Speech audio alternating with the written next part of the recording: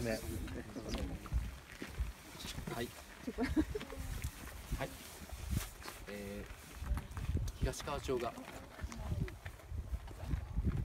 今の兵隊10年後の日本のスタンダードになるにはどうすればいいでしょうか？10年後のあ10年後の美味しいスタンダードになるにはどうすればいいでしょうか？はい。じゃあその質問に対してこの著者ならどんな答えを出すだろうかっていう視点で本から答えを探しましょうというのを回すんですけどこの後ハイキング自体はどういうふうな感じなんですか？もう結構歩きますよね。お任せ次第です。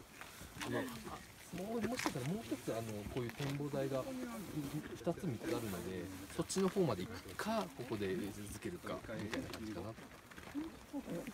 歩きながらやるのは大変ですか？いや、大丈夫大丈夫どうしましょうか？雪雪道歩くうん、あゆ雪道ここからねちょっと雪道。あそこの点ここが0.8ですか。